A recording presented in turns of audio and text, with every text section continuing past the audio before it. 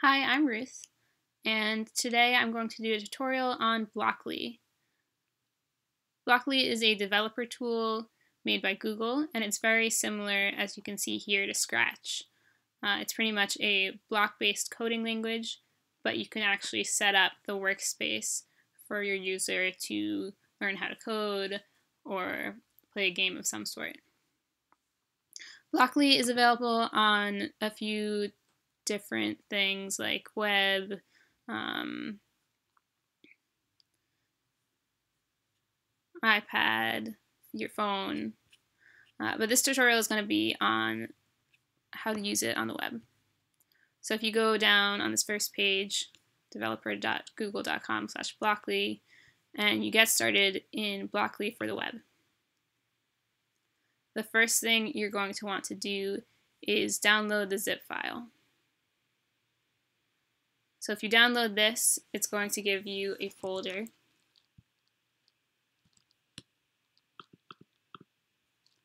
Like this, which is going to have a bunch of stuff in it. Uh, but what I find most helpful to kind of start with, along with reading the documentation in here, is to go into demos and then just kind of look through them. Generator is one that I've been working off of. And you can see here an example of what Blockly is. It gives you a bunch of blocks, pretty simple if statements, um, quality and loops, math, and you can pretty much create whatever you want to create in here. Um, and then you can actually have it work within your web page because this is all pretty much JavaScript, HTML, so this example is working with an alert. So saying if this is true, then print don't panic, which is just an alert if you go into the code. So here's an example of something that I've made kind of working off that same demo. I have a stoplight, and these are pretty much just divs. So let's turn green on. I'm just changing the color of this div. I could then turn green off and turn yellow on. And you'll notice that just by uh, changing it here, it's not actually happening here. You have to hit this button, run JavaScript. So these particular blocks aren't blocks that already exist in Blockly. These, for example, are already there. They're pretty simple. But this is a custom block. And that was something that I made to help me um, to get the user to do exactly what made sense. So when you're making a custom block, uh, you usually don't just hard code it there are um, Blockly developer tools uh, that help you to do that. So this is the workspace that they've made for you to use. And it can be kind of confusing at first. Uh, I'm not going to go super in depth, so if you want to really get a good overview of that on this page, uh, there's a good video. But basically, you are creating a block with different blocks. So you start out with this block. You're going to name it. You're going to give it a color. Um, then you pretty much make, you put stuff in that block with other blocks. So I have some text um, that's telling the block I want it to have the text turn because uh, I don't just want to have the drop downs red and on or that won't make sense. And then the drop downs, you can add more options or you can take away options. And I just have a couple drop downs in here. So that's giving me this. I can change the color if I want to. Um, and it's automatically generating this code, which you might not understand at first, but uh, I'll go into that in a bit. So that's pretty much what I did uh, to get to this demo. So part two, getting your custom code in uh, and getting it to affect a div on the page like it does here. Um, I'm going to use this really simple example. Uh, I have something similar to what I just made. Uh, I just made a really simple, only one choice for red, and then on or off. So if you turn red on, you hit that run JavaScript. It's just turning this big red div on.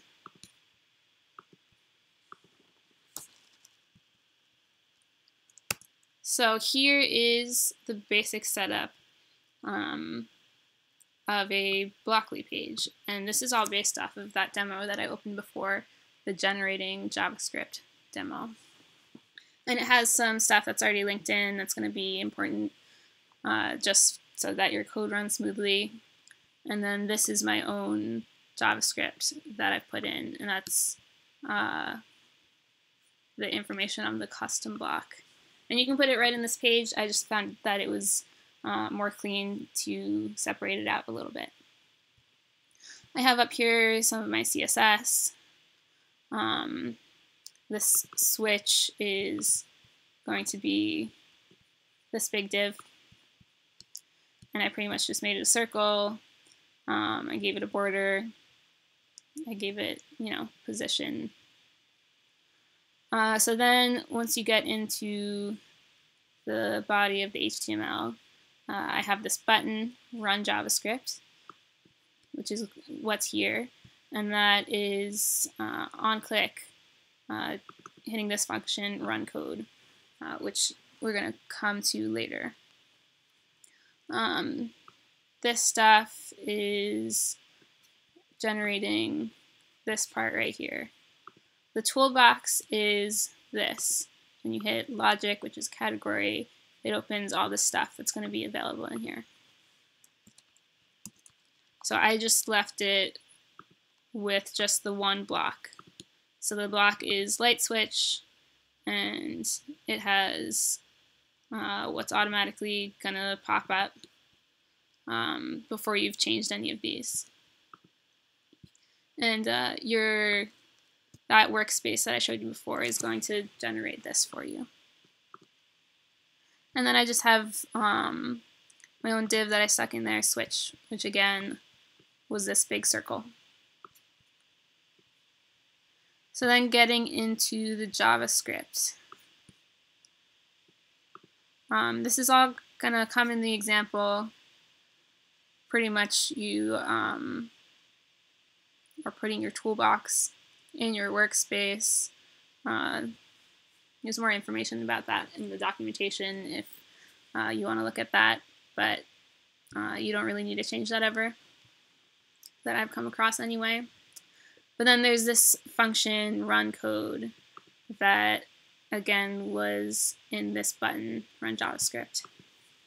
And this is also something that you um, might not even change, but pretty much it's taking this variable, variable code, which we are going to come across soon, and it's just running that code like it was regular JavaScript that was actually written in the page. But it's code that, that comes out of this. So it's translating this Blockly code into JavaScript. So now to get to the custom blocks. Um, here, it looks kind of jumbled right now, but I'll show you how exactly I got this. Going back to Blockly Developer Tools, you have this block definition. So pretty much I just copy and paste this in first. And um, it gives you the, you know, the options red, on, off. And this last thing in the dropdown, that's going to be the name of the dropdown, and that's going to be referenced later. So if I want to talk about the dropdown that's red and potentially yellow and green, that's going to be light color. And if I want to talk about the drop down that's on and off, I named that switch. Um, and this is all stuff that you've done if you've gone through this part, you know, setting the color and that kind of stuff. So then you copy and paste this generator stub in. And this is kind of where it gets a little more interesting. Um, you, so this already came, um, it's referencing, it's making a variable for the light color, and it's just referencing back up to here. So anytime I um, call this variable light color, it's taking whatever is currently uh, in the dropdown. So that would be red since I only put one color in there. And then it's, for the next variable dropdown switch, it's taking whatever, whatever um, variable is currently selected on the second drop-down switch. So right now, it would take the drop-down light color would be red, and the drop-down switch would be off. So then it's creating this variable code. Um, and just stuck in um, that variable is some JavaScript. Yeah, some JavaScript. Um, so I'm getting getting the element switch, and sorry, this is kind of confusing, but this is the switch that is this div.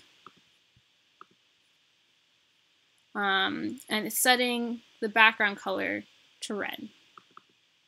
So that's, but that's only if the drop-down switch is on. If the drop-down switch is off, it's getting that same div and it's turning the background color to white. So then it's just returning the code and that again is going through this run code. You have this eval code here. So again, to show you that working,